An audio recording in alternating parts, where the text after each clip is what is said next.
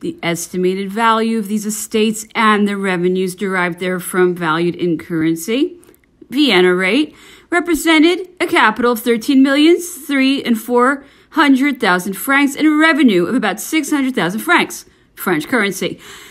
This concession on the part of Austria was never made in earnest. The cession to the son of the Queen of Etruria of the Duchy of Lucca, with the enjoyment of an annual income of 500,000 francs charged on these estates, the fee simple of which was not alienated, definitely assured to the Empress Marie Louise the integral life possession of the states of Parma.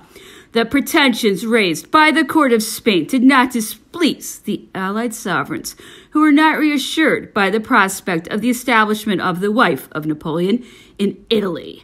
They provided the text of new arguments, which were employed with success to obtain from her that she should at least appear indifferent to the emperor's prospects.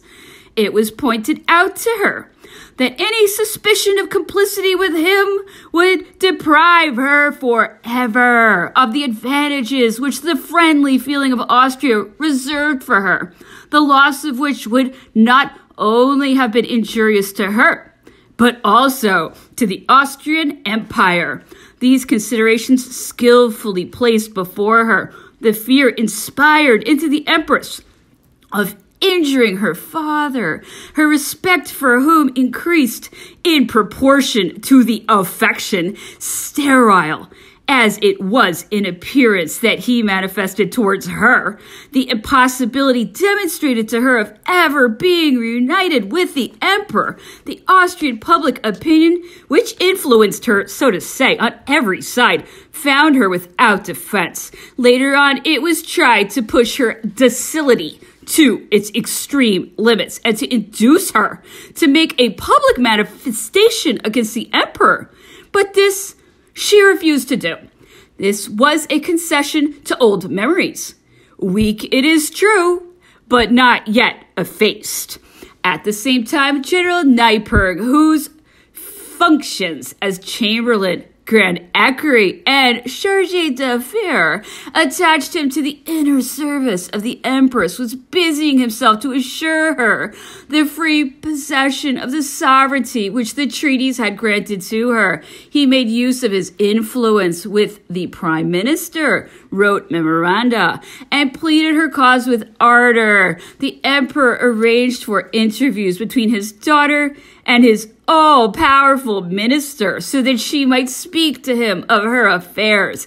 Each day there was a fresh story. Today Parma was assured to her. On the morrow it had been given to somebody else.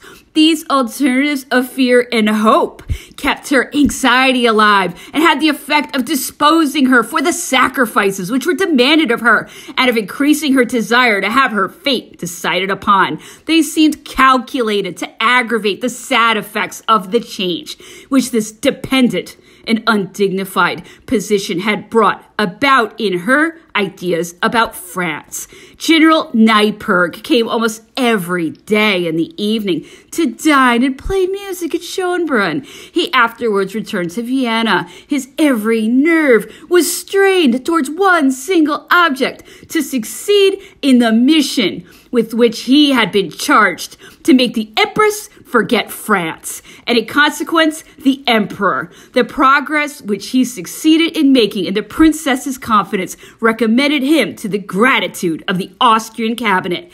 As a natural consequence, the French especially those whose attachment to the Emperor Napoleon was well known, were badly looked upon. The suspicion which they aroused had caused them to be excluded from any public post in Parma. If the Empress went there, no Frenchman was to follow her. She would only go under the guardianship of an Austrian minister with an Austrian governor who alone would be admitted to her confidence and to the directions of public business. The Bishop of Piacenza, Monsieur Fallot de Beaumont, made useless endeavors to preserve the episcopal see to which he had been appointed by Napoleon.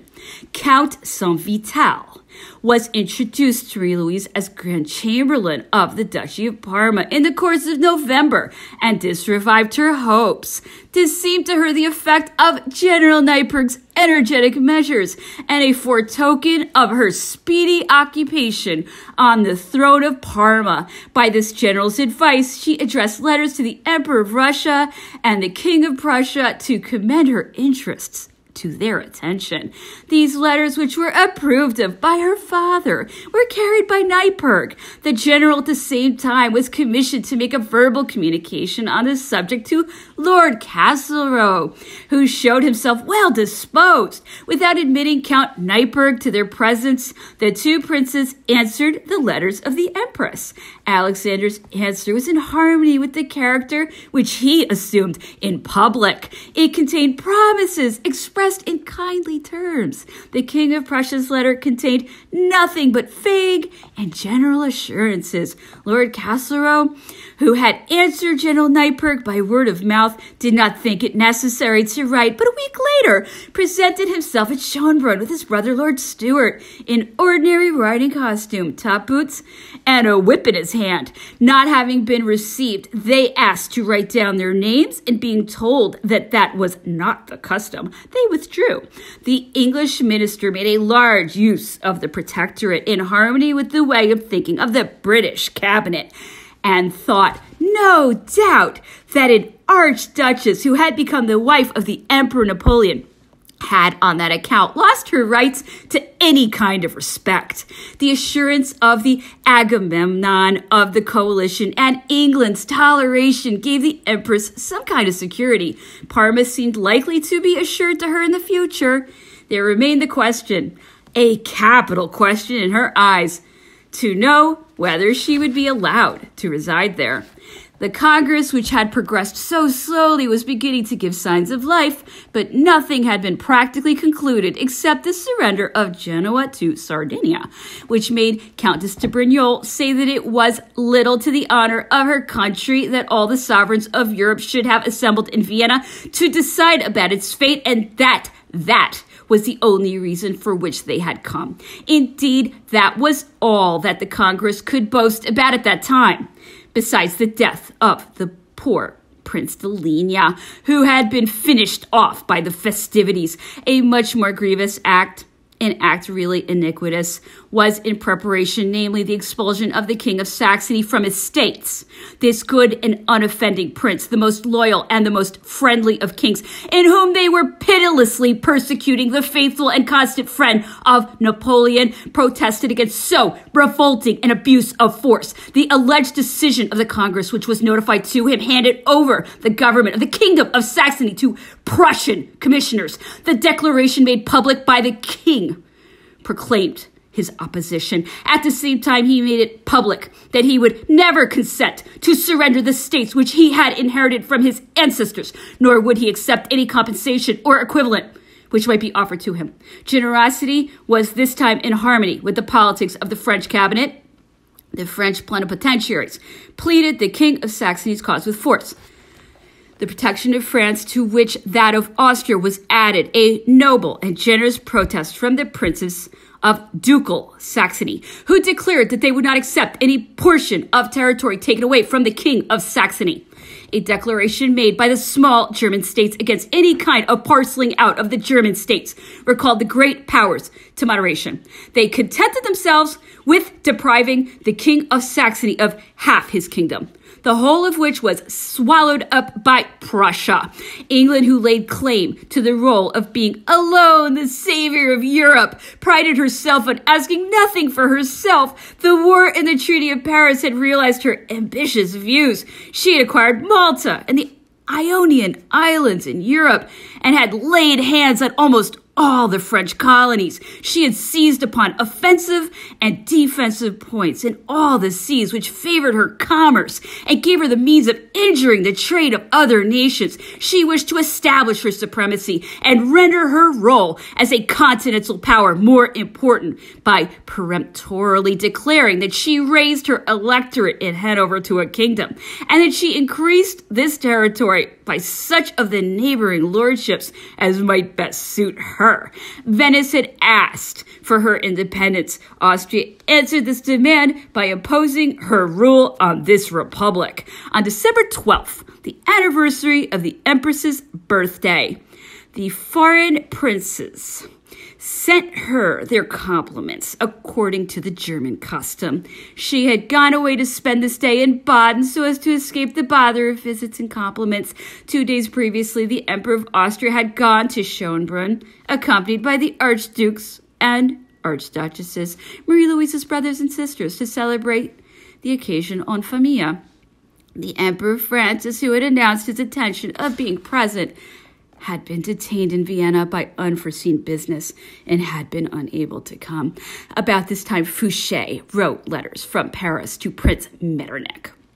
Napoleon's former minister, bored at having nothing to do, wished to take part in all and to set his mark on everything. He wrote to the Austrian minister that there could never be a more favorable opportunity for establishing the Empress Regent in France. That the new government had so offended public opinion that if the Emperor's son, riding on a donkey and led by a peasant, were to make his appearance in Strasbourg, the first regiment to which he would pr- be presented would lead him to Paris without any obstacles being put in his way. I heard of these letters from Count Aldini, to whom they had been shown by Prince Metternich, Count Aldini had been Minister Secretary of State to the King of Italy in Paris. The Austrian cabinet, who had feared his influence, had summoned him to Vienna under the pretext of consulting him about Italian affairs. He had frequent opportunity of seeing the prime minister, but rather to show himself than to work with him since the letter which the Empress had written from Aix to the Emperor and which Monsieur de Bausset had sent from Parma in the preceding month of August, all communications between her and the island of Elba appeared to have been forbidden.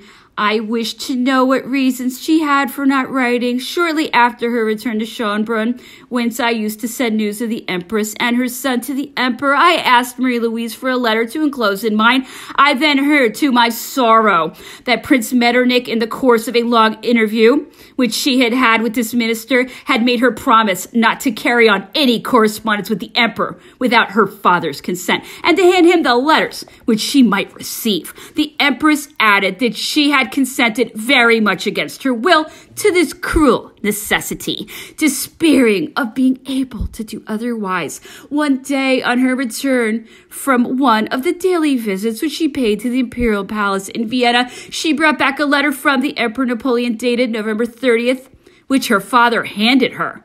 The emperor complained of the empress's silence and begged her to write him and give him news of herself and of his son. This letter had been four days in the hands of the emperor of Austria. One of the Grand Duke of Tuscany's couriers had brought it. It had no doubt been shown to the sovereigns, for it was for this purpose, and in order to prove his good faith to his allies, that the Emperor Francis had exacted from his daughter all that letters which her husband should write to her should be handed to him. The Empress did not answer because the permission to do so had not been granted to her. I made up for her silence by writing myself. The Emperor, as soon as he had been informed that the privacy of his letters was no longer respected and that the Empress had been forbidden to write to him, ceased writing. In spite of the minute supervision to which I was subjected, Napoleon had not remained without news of his wife and son. I used to write to him by every possible means. I found facilities amongst the Viennese merchants, which I took advantage of to fulfill my duty. Some worthy merchants whose heart had not been hardened by politics and who had not lost nothing in business during the stay of the French at the time of the occupation in 1805 and 1809. I can say this without in any way diminishing the merit of their kind behavior, lent themselves in a very friendly manner to forwarding the letters which I addressed to General Bertrand by way of Leghorn or Florence. The Empress, who since her departure from France had neglected her drawing, took advantage of the presence of Isabey of Vienna to recommence her le- lessons. I have said that this clever artist had come to paint the portraits of the sovereigns, and he was, as a matter of fact, working at his picture of the Assembly of the Congress. This picture is as remarkable from the good likenesses of the people as from the clever way in which Isabey grouped them. His brush must often have fallen from his hand, for he was engaged on a piece of work which must have been painful to a Frenchman. He used to sacrifice some hours of each week to go to the Empress and repeat the lessons by which she had so much profited.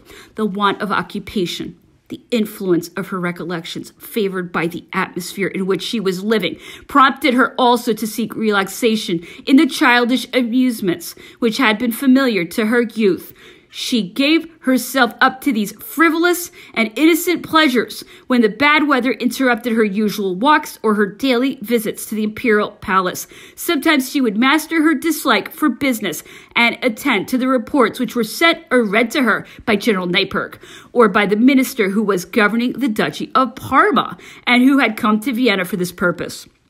The former read her one day a very serious memorandum, which she appeared to listen to with interest.